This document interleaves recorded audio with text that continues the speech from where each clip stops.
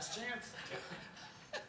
Please join me in the Pledge of Allegiance. Pledge allegiance. I pledge allegiance to the flag of the United States of America and to the republic for which it stands, one nation, under God, indivisible, with liberty and justice for all. Okay. Okay, Is there uh, any public participation? Stan's with us. Yeah. He's one of us. Oh, okay. We'll- we'll Well, do you want to introduce him now or later? Uh, I think when we come up, maybe. Okay, fair Build enough. suspense. All right, You'll just have to guess who it is. that's fine. Adjourn. No, no, no. I was, g- I, yeah, I was gonna suggest we adjourn now, but it- They'd appreciate that. the next thing on the, uh, agenda is committee reorganization. So this is when we get the chance to, uh, appoint chair and vice chair. So we'll start with chair. Uh, is there a motion, uh, for a chair? I move John Eiler, Second. uh, chairman of Ways and Means, Burlington uh, Subcommittee for the period of 2023. Fiscal We're appointed from the 2023 or calendar 2023? From today till when it ends. Fair enough. And I heard a second from Doug. Any discussion? Frank? I'd just like to say that uh, I'm assuming that we'll vote favorably, but um, thank you very much for your service. It's been uh, great leadership. You've taken a lot of abuse, big shoulders. Thank you. Well, before the, I guess I can do this before or after the vote, but I appreciate everyone putting their confidence into me, and I appreciated uh, serving the town, and I definitely learned quite a bit. And I hope I didn't piss off the town administration too much. I'm hoping they're still talking to me. So I appreciate the chance to have had the opportunity, so thank you very much. Thank you, Frank. So, motion to approve, I guess?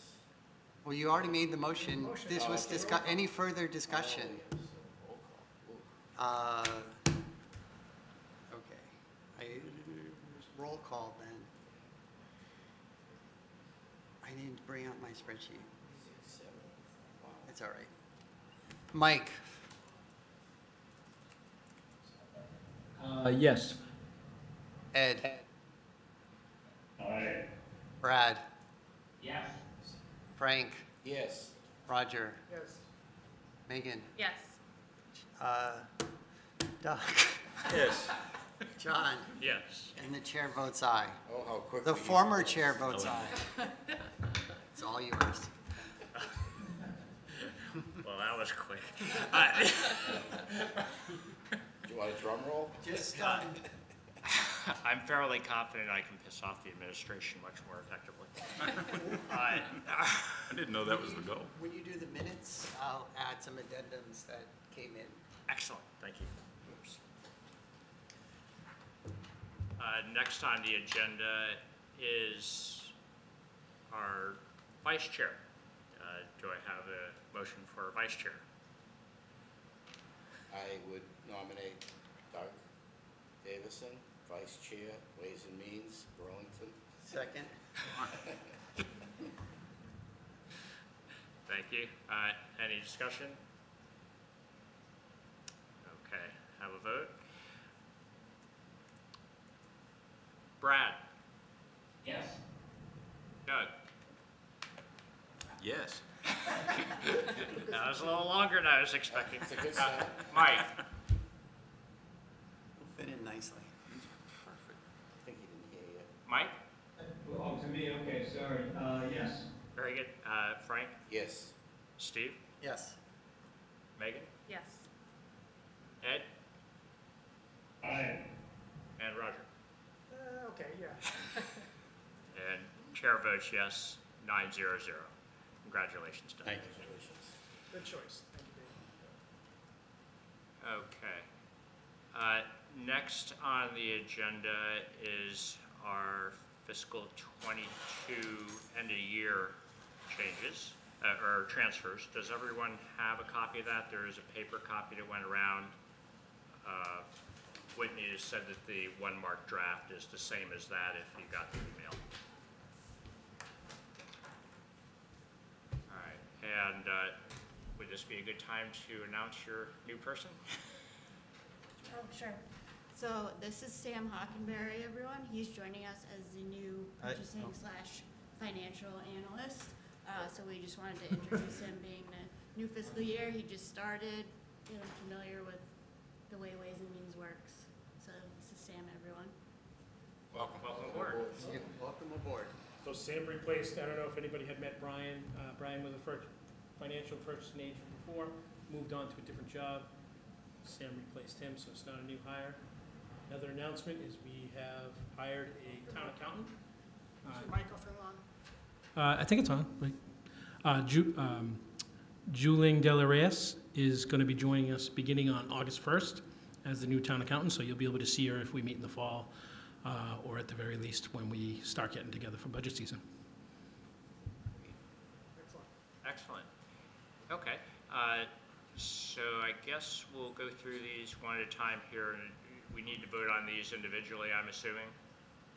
Um, no, I think we can vote him on, We can do it all as Yep. As, as submitted. one big package? Yeah. Okay, great. unless there's something we want to hold and vote, you know, like town meeting, so. Sure. Uh, Okay, uh, over to you. If you could describe the various transfers, please? So, um, just by way of a little bit of, well, first, let me stop. I do want to say, while I have the chance, thank Steve for his service for the last couple of years. We could not have gotten through the difficulties of the last two years without, uh, your leadership. So I really appreciate your responsiveness and, and I want to make sure that I say that before I go any further. Thank you very Um, much. You're welcome. And so, just by way of background, um, for anybody that's not familiar, um, we used to do this, I think, as a town meeting article um, in May. And as you might imagine, we didn't really have full information at that point. So you always have the danger of moving money that doesn't need to be moved or not meet, need, not moving enough and then having to have another meeting after the fact. So we've been doing it this way for probably about three years now, um, just to make sure that everything is accurate and we're only doing what needs to be done. So you see here, um, we've got a list of about eight items, um, is it eight items? This is- Eight items, so we have, um, several deficits, um, that we need to correct with surpluses on the other side.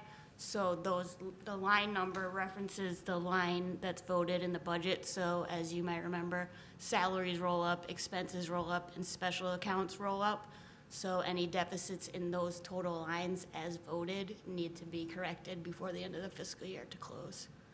Um, so these are the items that we have identified, and these are the sources that we have identified, um, to close out that deficit. And I don't know if you want to discuss each one line by line, or if anybody has any questions. But we can give it like a brief overview if that's helpful. Maybe if you could just give a quick overview, overview on each line, that would be Sure. great. Um, so the first one we have is town meeting and reports. Um, and as you know, our town meetings have gotten a little bit more complicated lately with the, uh, additional AV needs and, um, workers. Again, I always call them checker inners. I don't think that's the correct term. I don't know what it is.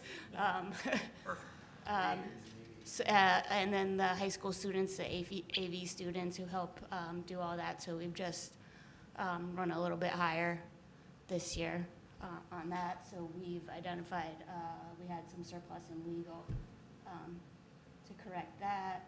Then we have uh, the deficit in the select board salaries, which was due to uh, the retirement of several employees, um, the buyouts for those retirements. So that's kind of an outlier, that shouldn't continue. Uh, town, town clerk, which is largely, I'm sorry, that one we corrected. Uh, Board of Appeals, that's just a function of the, uh, recording secretary and the amount of hours needed to work, uh, for that, so that's a year-by-year difference.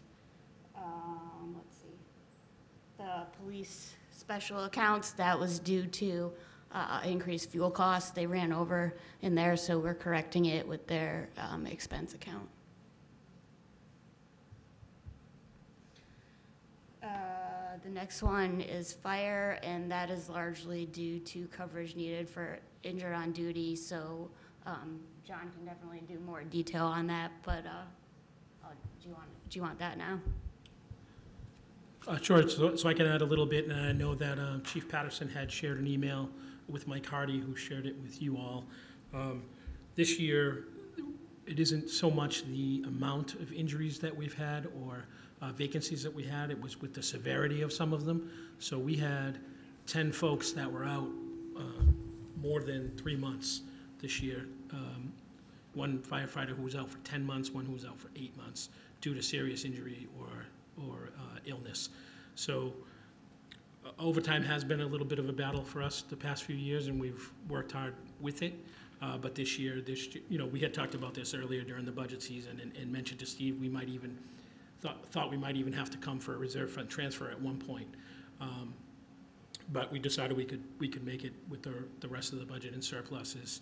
Uh, We don't, we don't expect this to continue, you know, uh, you can't predict when injuries and illnesses are gonna come, um, but we work hard to prevent the injuries, and um, it just happened to be a real bad year for that.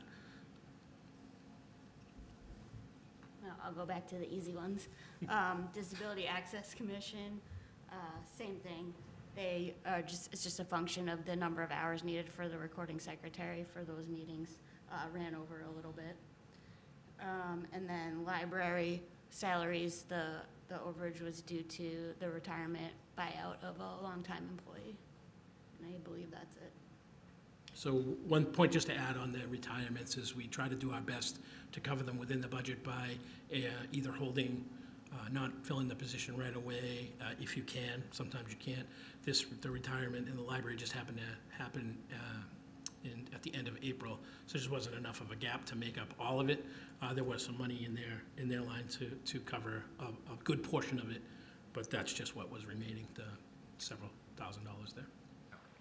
Um, And I apologize, Mike, uh, I didn't ask for a subcommittee report. It's my understanding that you didn't get a chance to have a meeting on this, is that correct? or- No, just, uh, I just got the, The email, little clarification from Chief Patterson, um, which everybody hopefully got a chance to look at. Can I add something to that too? The, uh, the, there was certainly some wisdom in in allowing allowing- for July 15th to do these transfers by the legislature when they created the Municipal Modernization Act, and we're very appreciative to it. Uh, But it does, it is still very tight for us to uh, get the final payroll posted, get, you know, the bills in for the final warrants. We haven't even finished encumbrances yet. Uh, So uh, we don't, you- most of the time, there isn't really a need for a, for a subcommittee because they're pretty straightforward. But this fire one could have used the subcommittee, so that's really on us. We should have come in earlier and said, you know, I know we've talked about it a few times, but if you want to have more detail, we can. So uh, luckily, the chief was able to get with Mike, at least through email. Uh, Any discussion? Uh, Um, Roger? Just a follow-up question on the fire injuries. Um, Is there enough in the sort of, of sort of normal physical training and health support that, I'm not sure how to ask the question, maybe you can't answer it, but um, injuries can be unavoidable. Yeah. Usually are, but do we have enough programs in place for, you know, physical fitness and, and make sure the firefighters are ready for their job? Or, or is there something future, in the future that can be done? So we did, we had a long conversation with, with the chiefs about this. Is there anything that we can do to prevent this in the future, or, or were these just really unavoidable? And they did say that they were going to try to tweak, uh, um, tweak some of the practices they do for physical uh, training, and then something that the police department had put into place a couple years ago, um, was with, uh, groups that trained together, and they brought in an actual trainer and showed people how to work out, or, or how to do, more like occupational training. So figure out what workout you need to do that's going to help you uh, from getting hurt. Uh, you know, p- f- fire, a lot of the injuries we see are knees and shoulders, uh, which are common given their job. Uh, they, they work very hard to prevent those, and most of these aren't, aren't that. They're, you know, backs or falls or things like that. Uh, Mike? thanks. So The, the one side of that, um, that transfer I didn't check into was on the police side, just, uh, uh, wondering why there was such a surplus on the, on the salaries that we could, we could, um, you know, pull all that money out. Mr. Chairman? Chairman? Thank you. Uh, Thank you, Mike. I, I- I neglected to talk about that. So the police, the, the- why we were so lucky to have such a surplus on the police is we went, we didn't fill the captain position after Deputy Chief Kirschner was appointed last June 30th. The captain position wasn't filled until just last month. So we went a whole year without a captain, but we also had two vacancies of officers as people retired that were extended periods of time where we didn't have uh, an officer. So we had more than three full-time salaries that weren't being used uh, throughout the year. Okay, great, thank you. Thank you, Mr. Chairman. Um, John, could you just recap for the retirements, what are the um, things that account for the, the- the monies that are needed to fulfill the retirement? Sure. So um, the, the big one is, well, the two big ones, the only two are vacation and, and sick. Vacation, you can have at, at the end of the year, you can have one and a half times your allotted vacation time. So if, if a year ends, you can, and you have five weeks, you can have seven and a half weeks. So that, just how the math works. Um, And that's non-negotiable. You know, you have to pay someone their vacation time. It's, a- it's the law. Uh, The sick time has to, is different for each unit, uh, but each unit does have something in it. Uh, All of the retirements that we've talked about here are BMEA, that's our, sort of our catch-all union. That's uh, all the folks that aren't either public safety or DPW union. So it's uh, clerical positions, it's uh, engineering, um, the inspectors, things like that. So, These, those folks have, I'm sorry, those, uh, those folks can buy, maybe, it's either sixty or hundred days, depending on when you started. So they have to have hundred days accumulated over there. You know, the, the, the four people that we're talking about that retired, I think, worked over a combined hundred and fifty years here, or something like that, so. so that, that's consistent with what I thought, but I thought the negotiated settlements account was hoped to have enough of a buffer to cover that. Yeah, that's what we hope, and we carry that forward, and, um, you know, it, it would be, it could be a place that we, we could go for that. Um, But there is. If we couldn't cover it. Oh, I see. So you, you left a residual in the negotiated settlements as a result? Yeah, I think at the end of this year, we may carry thirty thousand dollars uh, Yeah. forward. So it really doesn't matter how you do that. Okay, thank you. What, presumably one difference is negotiated settlements can carry over, whereas this can't. Which is why if we can do it in the budget, that's what So we're it trying to does do. make a difference which one you leave it in. Um, Okay, I- I thought the negotiated settlements, though, it could, it could carry over, but it can't, it has to be spent for things in that fiscal year, does it not? Well, it can carry over, but it can, it has to be spent for the buyouts because those are multi-year things. Right. Okay, thank you. Good. Okay. Anything else? Move to approve? Second? Very good. Okay, so this is approving four hundred sixty-nine thousand, eight hundred ninety-five and thirty-five cents of worth of transfers. Uh, Let's see. All right, uh, Brad? Yes. Doug? Yes. Mike? Yes. Frank? Yes? Steve? Yes. Megan? Yes.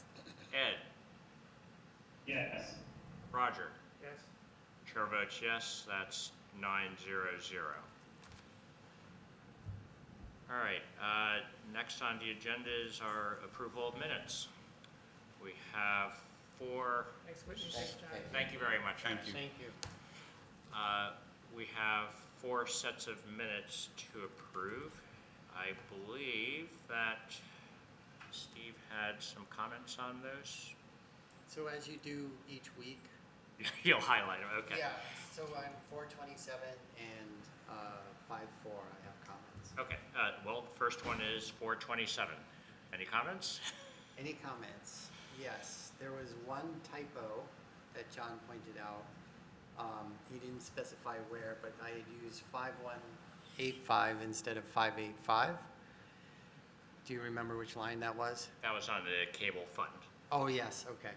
So that was on the cable fund. And then Brad disavows, uh, that was the other one. And then Doug had mentioned, uh, that we should add the lines, during the sculpture park discussion, Bob, Buck- Bob Buckley spoke. I believe as a member of the sculpture park committee, he assured us that this would not become a regular request and that it was a carryover event due the, due to the impact of COVID on the local business community. So I would be amending the, the cost of the PEG Enterprise Fund and adding that line to the discussion on the sculpture park. Otherwise, the minutes are as sent out. Any other comments? Uh, I would just add Bob as a guest also. It was, uh, Bob Buckley as a guest. Uh, He wasn't Oh, for listed as attendance. attendance, yeah. Yep. Would it work out, Mr. Chairman, to vote all of them as a block? We I, can't, I think we have an issue with people may abstain differently is always the issue. sorry, I have to use, I have to, good be- try. I have to get used to being quiet. Uh, Never hold back, Steve. Uh, You stopped John before, so. Exactly. I'll make a motion to approve the four twenty-seven minutes as amended. Second. Thank you. Brad, Yes. Uh, Doug, Yes. Mike, Yes. Frank, Yes. Steve, Uh, yes. Megan, Yes. Ed, Yes. Roger. Yes. Chair votes yes, that's nine zero zero. Okay, the minutes for May 4th, I believe you had some comments on that. Brad disavows being at that meeting at, at all costs. Okay, Although I will just amend the attendance and leave out at the all costs. fair enough. Any other comments? Where are they? Like, people Motion to approve? Thank you, Second. thank you. All right, uh, Brad, Abstain. threw me off there. Uh, Doug, Yes. Mike, Yes. Frank, Yes? Steve, Yes. Megan, Yes. Ed, Yes. Roger. Yes. Chair votes yes, that's eight zero one. Minutes for May 11, any comments there? I would like to thank the vice chair at the time for running the meeting in, in the, in my absence as I was at Lahey for an unscheduled medical procedure, so I appreciate that. But I will not put that in the minutes. I'm glad it had a happy ending. Uh, Any other comments? Motion to approve? Second. Thank you. Brad, Abstain. Doug, Yes. Mike, Yes. Frank, Yes? Steve, Abstain?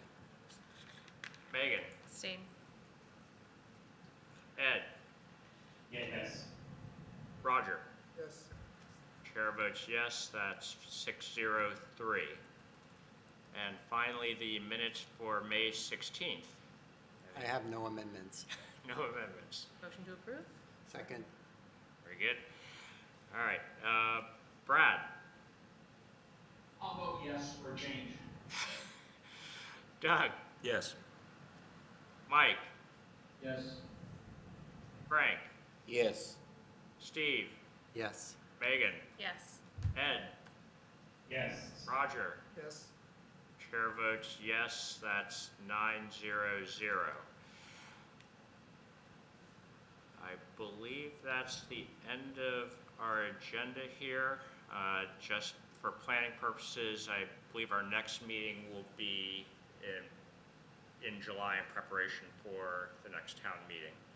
Uh, So be on the lookout for that. And September, September. July? Did I not say September? He said July. Thank you for the correction. Yes, September. Yeah, we, we wouldn't have missed that one. Yeah. We are, we are making No chance. You don't only wouldn't get a But not quorum, that much. you wouldn't get anybody. Okay, any further business for today? Motion to adjourn? Second. Very good. Waiting to ma- make that All in motion. favor? Yay. All right, Good we are night. adjourned.